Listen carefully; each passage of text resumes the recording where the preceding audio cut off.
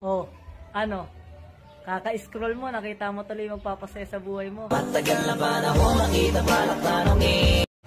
Ano? Di ka ba ito magbabago? Hanggang ngayon, nakikipagkita ka pa rin kay Joel! May ebidensya ka ba? Oo, ito! Tingnan mo! Oh, nakikipaghali ka kay Joel!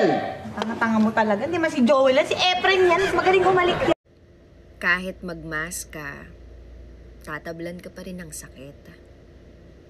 Lalo na kung mahal mo pa. Reklamo ho kayo nito. Ano bang ginawa mo? Wala naman ho, Kapitan. Kinuha ko lang ho yung pag-aari niya. Hindi naman niya ginagamit eh.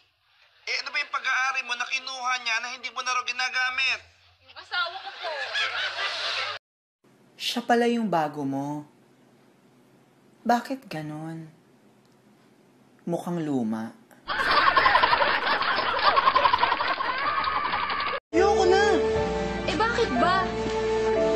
May iba na ako eh. Iiban mo ko dahil may iba ka na? Ako nga matagal nang may iba, iniban ba kita? Okay, class, who can spell exam? Sir, go ahead, Jack. E-A-N. Nasaan yung X? Masaya na siya sa iba. Guguluhin ko pa ba?